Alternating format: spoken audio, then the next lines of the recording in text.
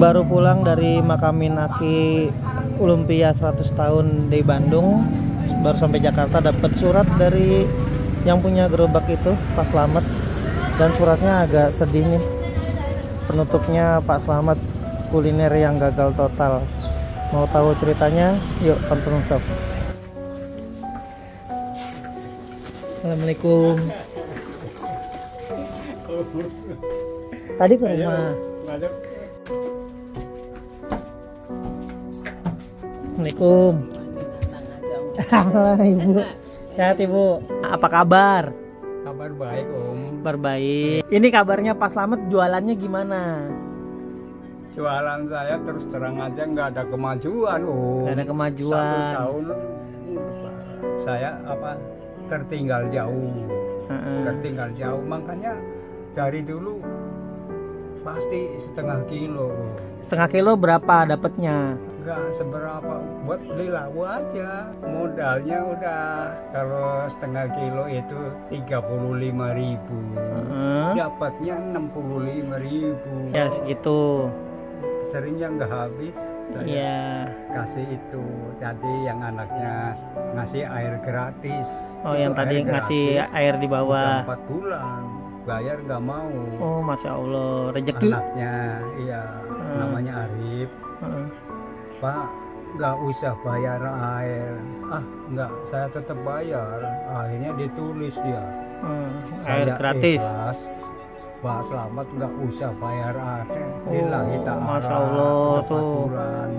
Asal Pak Selamat doain mama saya kalau habis sholat. Oh iya, saya doain terus. Saya mau ngabarin ke penonton dulu kalau Pak Slamet eh, lagi galau Ibu katanya Pak, loyo kalau naik tangga. Heeh. Iya saya juga kepikiran. Eh, saya nggak nggak bisa bacain secara keseluruhan. Intinya sih Pak Slamet nih lagi bingung nih mau pulang kampung ya. Iya. Mau pulang kampung ngomong dua kali. karena ibu udah pengen istirahat di kampung. Kampungnya mana bu? Heeh, ini ibu yang pengen bener. Ibu yang pengen. Nah, Pak Slametnya pengen ikut. Bapak pengen ikut pulang kampung. mau ikut. Ikut nganterin atau pindah? Pindah aja. Pindah Karena aja. Paling juga mau usaha kecil-kecil lah. Adanya itu kalau ngomong "Ah, jangan mikirin dagang, yang penting makan. Begitu. Kalau Hmm. Teman kasih makan begini, wow, tapi dan usaha. Mas, tolong saya pinjam duit 200 Buat? karena 200 buat modal dagang Buat modal dagang di mana? Dagang beli obat-obat warung habis 50 jadi Oh. oke gitu Terus ini udah dagang belum?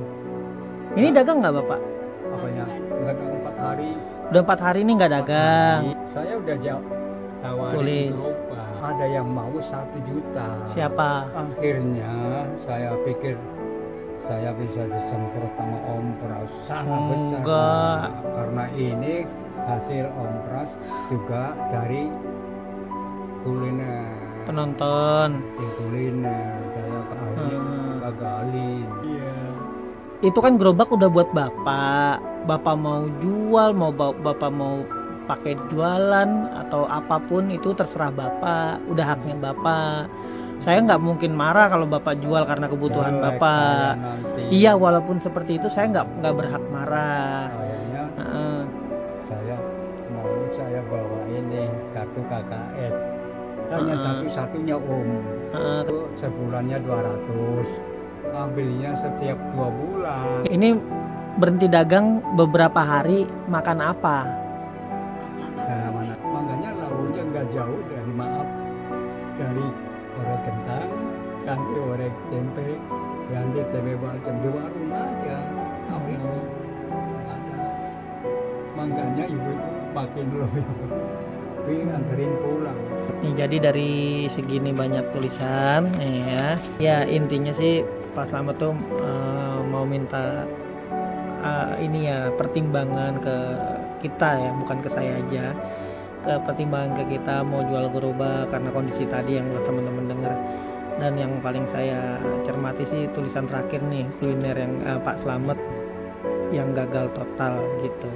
Pak, yang namanya usaha mah wajar kalau gagal yang penting nyoba lagi terus terima masukan nah nanti bapak belajar lagi yang lain jadi nurutin nurutin ini pasarnya nurutin uh, anak-anaknya kira-kira yang laku jualan apa bapak belajar lagi gitu. Tapi itu kan nanti ya sekarang saya mau ngobrolin soal ibu dulu yang mau pulang. Ibu bener-bener mau pulang mau pulang kampung beneran. Ini kalau seandainya pas selamat pulang kampung iya.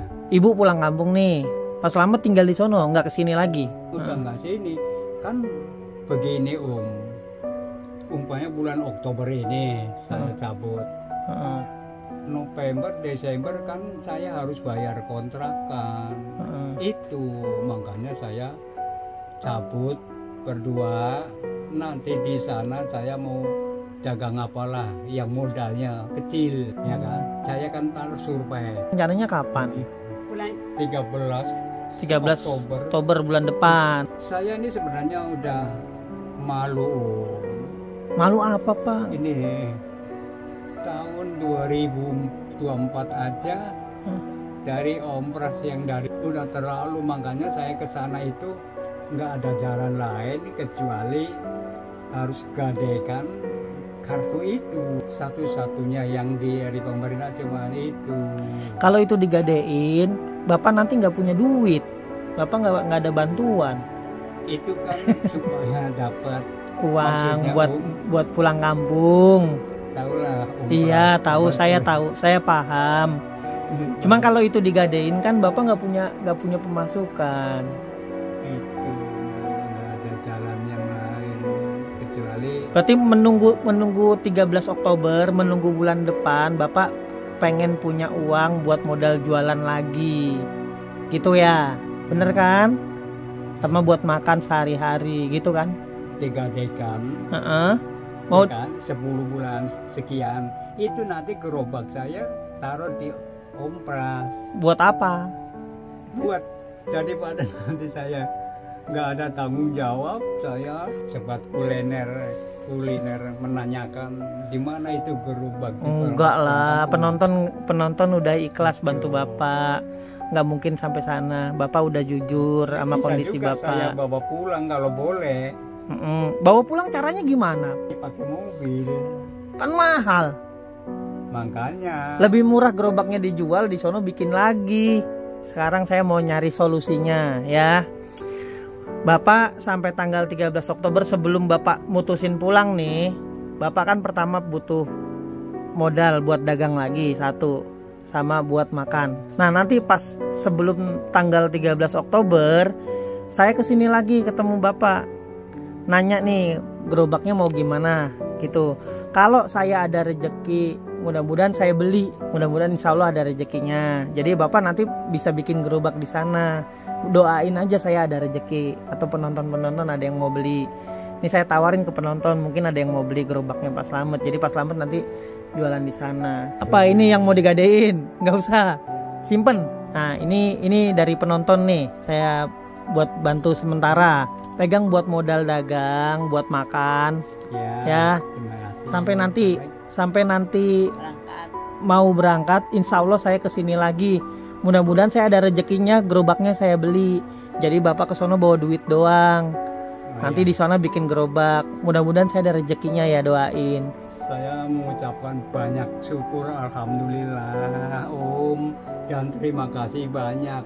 Sering direpotin Sering merepotin Om Pras. Terima kasih sekali. Hmm. Alhamdulillah. Atas bantuannya Juga saya sampaikan terima kasih kepada Sobat-sobat kuliner saya. Saya termasuk sobat kuliner yang yang gak sukses. Bukan gak sukses belum. Walaupun gagal tetap ya Berjuang semangat ya terus. ya udah siapa tahu nanti kita sukses. amin Amin. Terima kasih banyak dan Om Pras mudah-mudahan perjuangannya ada Amin. nilai di sisi Allah. Insya Allah. Mungkin ada Amin. balasannya ya Om. amin ya Allah Lagi-lagi pas selamat. Terima kasih banyak Om. Masih Om.